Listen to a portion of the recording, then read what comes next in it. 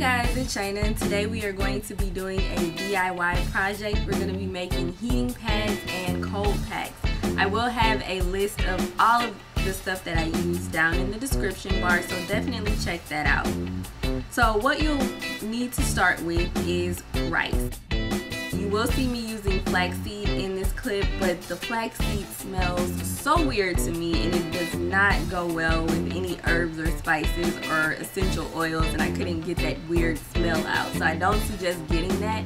I suggest using rice and taking your favorite tea scents or um, using spices and herbs and things like that and essential oils and letting that sit and marinate in the container for about an hour. You can do it for up to a day. Of course, the longer you leave it, the better it'll smell. Um, and that's going to be the filling for the pack. For the particular shape that I'm showing you today, it's going to be the one that goes around your neck and over your shoulder. You'll want to make a zigzag stitch around the opening. And you can do this in any shape or size that you want. This is an awesome project for a gift, especially if you know people that have issue, back issues. Or if you have kids, these are great cold packs. If they hurt themselves or if you're an athlete and need to ice up or put the heat on, it works both ways. It's awesome. You're going to make that zigzag stitch and that's just going to reinforce the fabric. You'll want to use 100% cotton or flannel just because you're putting it in the microwave and you don't want it to burn up.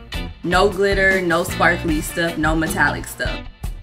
So once you get it stitched up, you're going to flip it inside out grab a ruler and make two inch intervals. Basically, you're just going to make line stitches and that's going to allow the rice to distribute evenly so that once you actually pick it up, the rice doesn't just fall one way or the other. Those stitches will help to keep it in place.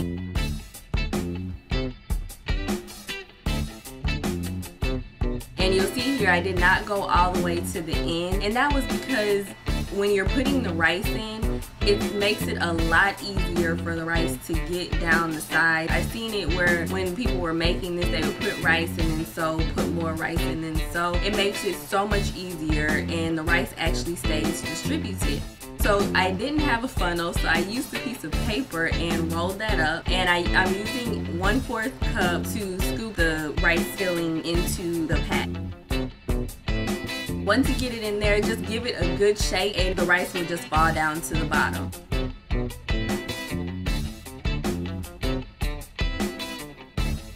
Just a side note, you don't want to fill the pack so much that you can't roll it up. That's just for the simple fact of when you put it in the microwave, the more rice there is in there, the longer you will have to leave it in the microwave.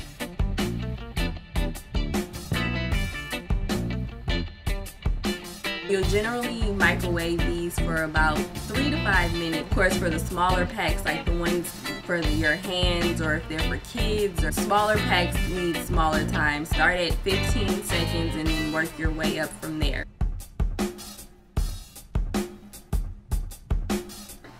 So this is the final result. I made a whole gift pack and I'll go through each one. These are the hand warmers. They literally fit in the palm of your hand. Um, this particular one is for your back. It goes from your shoulders to your lower back.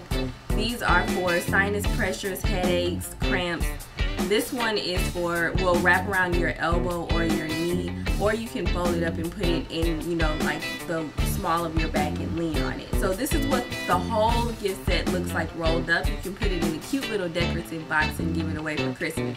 So I hope you guys enjoyed this video. Please rate, comment, and subscribe. Don't forget to check out the channel I have with Brandon. We just uploaded a new video for our 12 Dates of Christmas and it is pure comedy. Alright guys, so that's it. I hope you guys enjoyed the video. Thanks for watching and I'll see you next time. Bye.